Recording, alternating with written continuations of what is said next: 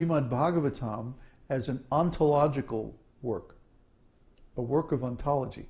And we view Nectar of Devotion as an analysis of that ontology. Okay? That helps us understand it. In Srimad Bhagavatam, the ontology is embedded in the stories. But Nectar of Devotion makes it explicit. And you can actually diagram out the Nectar of Devotion. And I've done this. And it's on my Transontology site. And also, I think there's an article or some uh, introductory uh, material on, on Transontology on the regular site. So you should learn this because this is really, if, if there's anything that we have that's unique and special, it's this understanding of the scriptures as ontological works. Uh, because ontology is what gives you meaning and value. Uh, what's important and what's not important. Just like if someone is uh, very important to you, you say, uh, You mean a lot to me. You see? You mean a lot to me. You have a lot of value. See, our relationship is very valuable to me. You mean a lot. It has a lot of meaning. Uh, really means a lot. So, how do we know what's more valuable and what's less valuable? By its meaning. And where does meaning come from? It comes from ontology. Ontology is the background knowledge that determines meaning. Okay, don't be scared by this word, it's just a word. You can look it up in a dictionary, you can look it up online. There's plenty of good explanations of the actual meaning of ontology. Ontology is what gives meaning its meaning. Okay? Ontology is, well, you can, there is a way to diagram, like mathematically, uh, different ontologies. But an ontology in our experience is usually a collection of stories. And that's exactly what the Vedic literatures are. Vedic literature is story after story after story. This happened and that happened, and this guy did this, and then this happened, and then so and so said that, and like that. And these stories, taken all together, paint a coherent picture of our world and our experience. Uh, they give a map of reality, a map of consciousness and experience that allows us to determine the value of different experiences, and especially spiritual experiences, especially different states of consciousness and like that. So, ontology is very, very important. And if you're not aware of your ontology, if you're not, if you do not have a conscious, consciously constructed ontology, then you're in trouble because you don't really know where your values come from. Huh? You don't really understand how you uh, arrive at your conclusions and your judgments about what's important, about what has value, about what has meaning. Where do your values come from? Huh? Nobody just picks them out of thin air. We get them from some cultural background or some uh, experiential background, often from our parents, our friends, our school, our life experience, and like that. But these different sources are all incompatible, and they give us conflicting ideas, conflicting values. Makes it hard for us to know what's what, or to make up our mind about things. So the Vedic literature gives a completely self consistent set of values, a self consistent ontology. And this is extremely valuable because the Vedas ontology is based on consciousness. What is the highest value of consciousness? And as we just, just uh, discovered in Nectar of Devotion, it is spontaneous, intense love for the Supreme Personality of Godhead. This experience, this consciousness, is the most valuable thing in existence.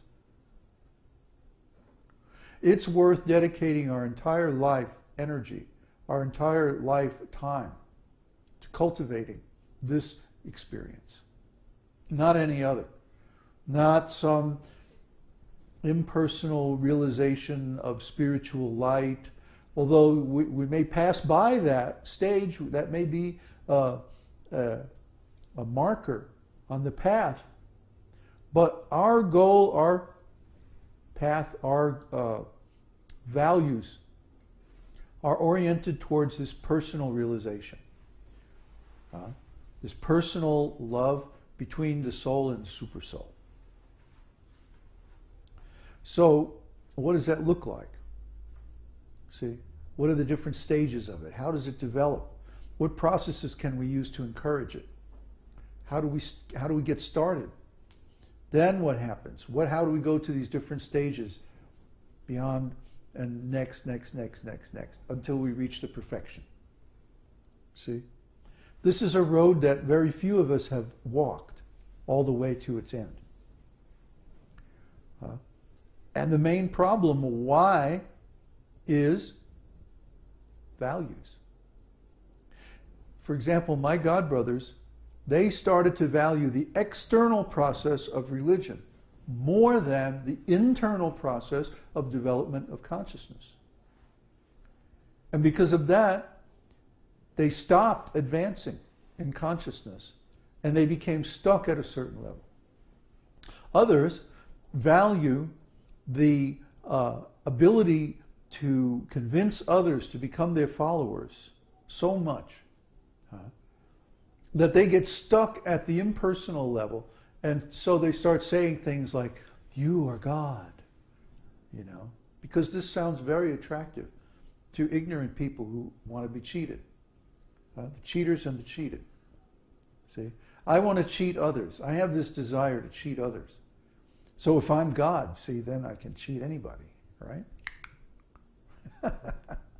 so I'll be attracted towards a teaching that will justify this, and I'll try to learn. Just like, you know, uh, if you go to prison, you'll see the young prisoners are always hanging out with the older prisoners and trying to learn like different con games and stuff like this. Huh? Why? Because when they get out, then they want to be, they want to, you know, they want to get promoted to a higher level of criminal. Huh?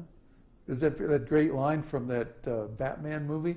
What this town needs is a better class of criminal. so the criminals, they're taking association from the more advanced criminals. Uh, the lawyers are taking uh, association from the more advanced lawyers. Not a whole lot of difference there. Uh, the doctors, they hang out with more advanced doctors. The lawyers, the mechanics, Huh? The musicians, everybody who wants to learn a skill, they hang out with people who are more advanced. So we want to hang out with Rupa Goswami because Rupa Goswami got these instructions on how to cultivate consciousness directly from Lord Chaitanya Mahaprabhu.